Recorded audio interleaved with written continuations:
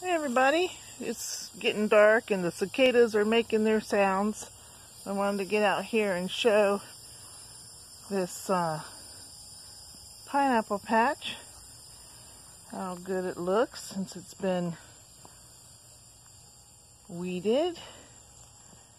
And just show you one more thing that I do with the little feed bags you get from your oranges in or apples or different things of how you can use it to protect your pineapple from critters basically squirrels or rats because they they like to like scratch on the fruit when it comes up.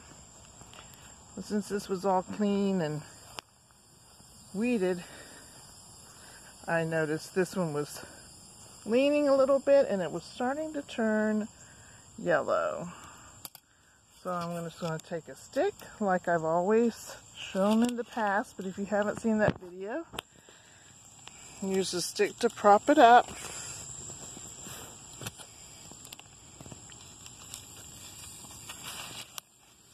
And some something to wrap around it to hold it onto the stick and I'm just using a piece of mesh.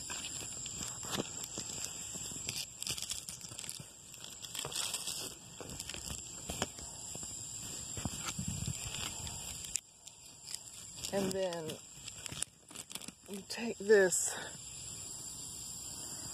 and you cut it and you wrap it around the plant. And it just kind of protects it and still the sun can get into it. So it'll still ripen.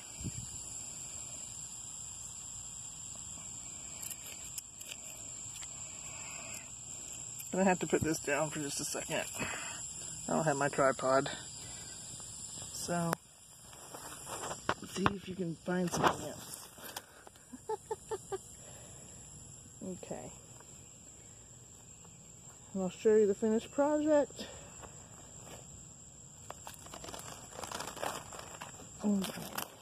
So you just put that around it, see? And it protects it